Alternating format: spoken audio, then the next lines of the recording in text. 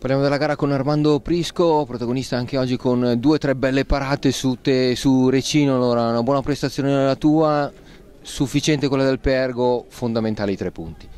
No, io dico invece più che sufficiente perché oggi la squadra ha dimostrato il carattere che ha.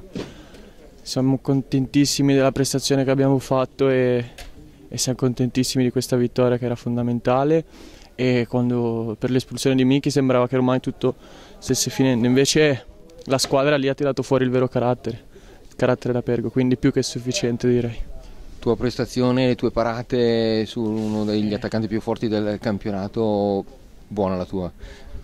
Sì, il ruolo del portiere è questo, come ti ricordi a Busto ero, forse sono stato non impeccabile e, e oggi ho fatto il mio, quello che c'è da fare per portare a casa il risultato, quindi non c'è niente da dire, quindi sono contentissimo sì della mia prestazione, ma sono contentissimo per noi, quindi più felice per noi. Una vittoria pesantissima per il morale, per la classifica, per tutto oggi. Sì, soprattutto per la classifica, cioè soprattutto per il morale e, e anche per la classifica. E quindi ora vi arriverò al Caravaggio e ci siamo prefissati un obiettivo e dobbiamo arrivare a quell'obiettivo lì prima di andare prima delle, delle vacanze natalizie. Un, uh, una partita in casa. Anche della Coppa, quindi sì.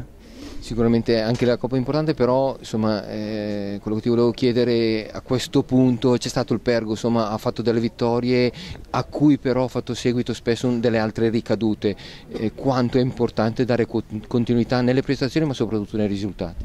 Eh, no, cioè, magari all'inizio sì, cioè, però dopo dopo domenica, nel senso prima di domenica col Serenio venivamo da, da buone prestazioni, da buoni punti, cioè da buone gare e stavamo facendo punti.